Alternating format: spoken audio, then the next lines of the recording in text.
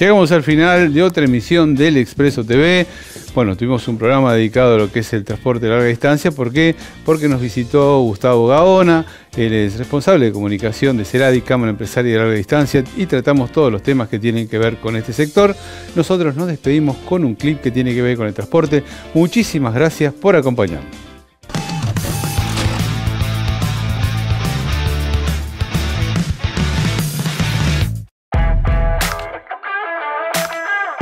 Estamos en las instalaciones del cliente Lusa, Logística Urbana Sociedad Anónima, empresa que se dedica a la recolección de residuos urbanos en la ciudad de Córdoba.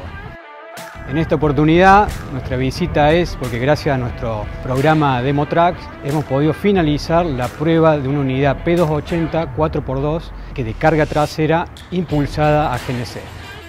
A nosotros nos interesó mucho la propuesta de Scania de probar este equipo a GNC porque coincide con la política de la empresa Lusa y del grupo ERSA, que va de la mano y acompañando lo que es la sustentabilidad para mejorar el medio ambiente y mejorar la calidad de vida de todos los cordobeses.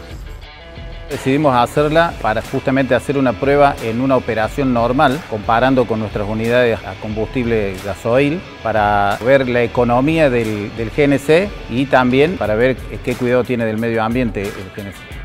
Muy bueno el GNC, en parte de rendimiento y en, velocidad tiene la misma reacción casi que un diésel y adentro de la cabina es muy, muy cómodo para el chofer. El resultado fue exitoso por el hecho de que no contamina sonoramente el camión. Un aspecto a destacar de, de esta unidad a gas es que con una carga completa podemos hacer también una operación completa tal y cual que con un camión a combustible gasoil. Eh, no insume más tiempo para la carga, o sea que no consumimos tiempo o demoras, inclusive nos sobra combustible eh, o nos sobra gas para poder hacer otra operación. Actualmente Lusa tiene más de 70 camiones operando, de los cuales 12 son Scania, que hemos adquirido en el año 2022 y son de propulsión a diésel.